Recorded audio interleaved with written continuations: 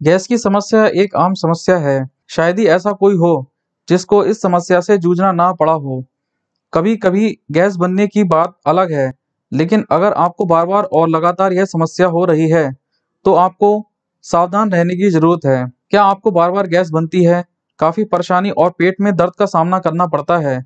कभी कभी गैस फंसने की वजह से छाती में दर्द होने लगता है। अगर हाँ तो आपको उसका निवारण फ़ौरन करना चाहिए। क्योंकि पेट में बार बार और लगातार गैस बनने की समस्या आपको भविष्य में कई गंभीर रोग दे सकती है। वैसे तो गैस बनना पाचन की एक आम प्रक्रिया का हिस्सा है। ज़्यादातर लोग दिन में पंद्रह बार गैस पास करते हैं। यदि इससे ज़्यादा होता है तो आपको समझना चाहिए कि आप गैस्ट्रिक प्रॉब्लम से जूझ रहे हैं। चलिए जानते हैं आखिर क्या है गैस्ट्रिक प्रॉब्लम। पेट में गैस की समस्या एक ऐसी स्थिति है जिसमें पेट की मेम्ब्रेन लेयर गड़बड़ा जाती है। और एसिड का स्त्राव होता है। एक बार जब ये एसिड पेट की दीवार के संपर्क में आ जाते हैं तो यह दर्द और बेचैनी को जन्म देते हैं। जब पाचन तंत्र में बैक्टीरिया भोजन को तोड़ते हैं, आंतों की गैस में ज़्यादा हाइड्रोजन और मीथेन होती है। आमतौर पर यह समस्या 40 साल की उम्र के बाद शुरू होती है, लेकिन ऐसा ज़रूरी नहीं है।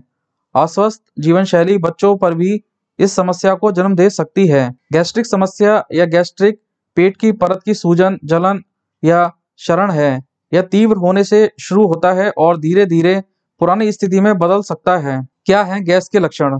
गैस की समस्या काफ़ी असहज हो सकती है, लेकिन यह आमतौर पर गंभीर नहीं होती है। हालाँकि कुछ मामलों में यह काफ़ी भयानक साबित हो सकती है। ज़्यादातर मामले ऐसे होते हैं जिनमें डॉक्टर से संपर्क करने की आवश्यकता नहीं होती और कुछ ही मिनटों में आराम भी मिल जाता है।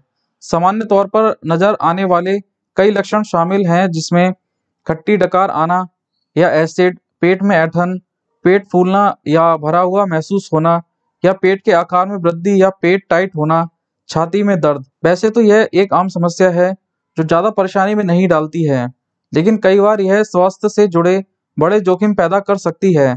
ऐसे में यदि आपको ज़्यादा गैस बनती है तो आपको सावधान रहने की ज़रूरत है। इससे आपको पेट दर्द, वज़न घटना, बुखार या खूनी मल जैसे लक्षण नज़र आ सकते हैं। ये सभी पाचन, विकार जैसे सीलिक रोग अल्सरेटिव कोलाइटिस या क्रोहन रोग के लक्षण हैं। यदि आपको कोई बड़ी समस्या हो रही है तो आपको फ़ौरन डॉक्टर से संपर्क करने की ज़रूरत है। अगर छोटी मोटी समस्या है तो आप घर पर ही कुछ घरेलू आयुर्वेदिक नुस्खे आजमाकर अपनी गैस की समस्या को दूर कर सकते हैं। साथ ही जीवन शैली में कुछ बदलाव भी आपके बेहद काम आएँगे।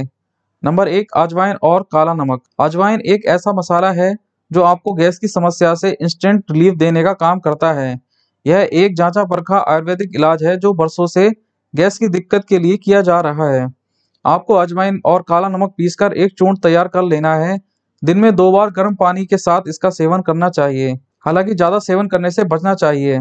अन्यथा दस्त की समस्या भी हो सकती है। नंबर दो, अदरक का जूस। गले की खराश को दूर करने के लिए ज़्यादातर अदरक के घरेलू उपाय काम में आते हैं। लेकिन गैस की समस्या के लिए भी यह रामबाण इलाज है। इस बात में कोई दो राय नहीं है कि यह आयुर्वेदिक गुणों से भरपूर है।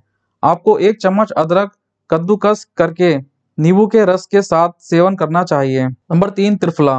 पेट दर्द की कई समस्याओं के लिए त्रिफला काफ़ी फ़ायदेमंद है, जिसमें गैस भी एक बड़ा नाम है।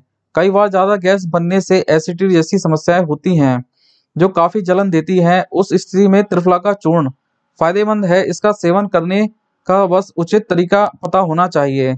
यदि आप त्रिफला का सेवन करना चाहते हैं तो पाँच से दस मिनट के लिए आधे चम्मच त्रिफला को पानी में उबाल लें और फिर रात में सोने से पहले इसका सेवन करें। हालाँकि ध्यान रहे, त्रिफला में फाइबर की मात्रा अच्छी होती है। इसका ज़्यादा सेवन आपको समस्या दे सकता है, इसलिए एक सही मात्रा में ही इसका इस्तेमाल करें।